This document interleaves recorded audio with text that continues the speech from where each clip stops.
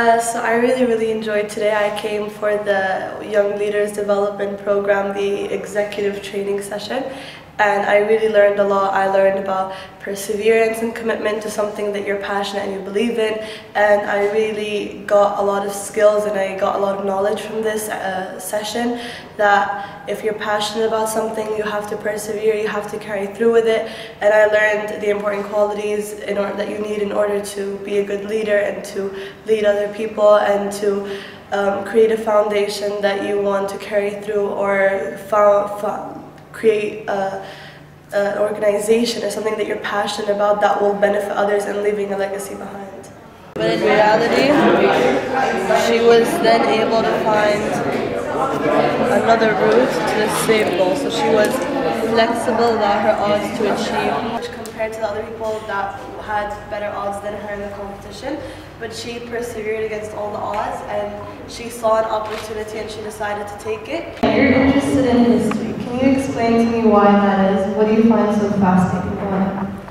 So I'm interested in history ever since I was a little kid. Uh, my grand grandparents would tell me stories of how it used to be. I love finding out how it was and how it is not now, how we've developed and learning from our mistakes resistance and it was Mr. Miller said that um, if you look for cooperation you'll find it if you look for resistance you'll find it so as a leader you kind of have to decide what you're looking what you want to see in your team and if you want to look at the negatives or if you want to look at the positives and um, the take from that audio is very much about what we've been learning all day today, which is persevering and not giving up on something you believe in or something you're passionate about. So this travel to Europe because I've never been to Europe and I hear that it's very nice. The weather there is really good and there's a lot of culture there. There's a lot of art, there's a lot of architecture and I'd be really interested to see how that was influenced by periods such as the Renaissance period and those kind of periods that were very major in Europe mostly.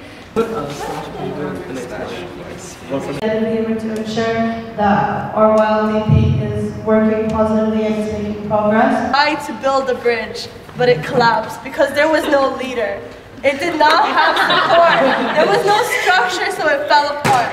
Which is why we then decided to create a tree of life. There we go. This tree represents all of us together working to create something beautiful, which will continue to produce great ideas and will continue to sustain the YLDP.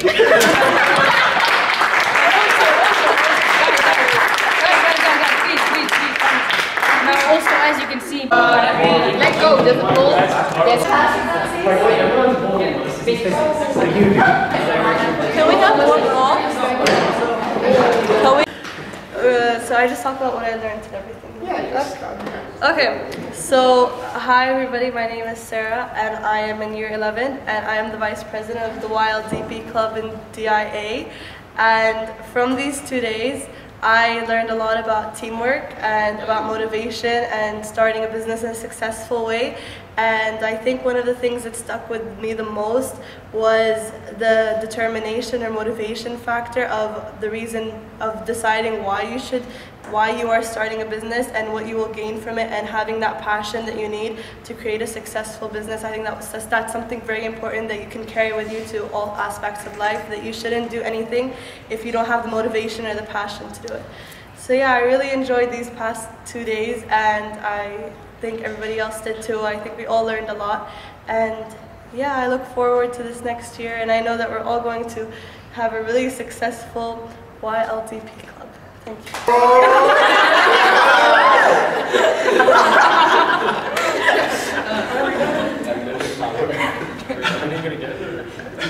One more. Oh.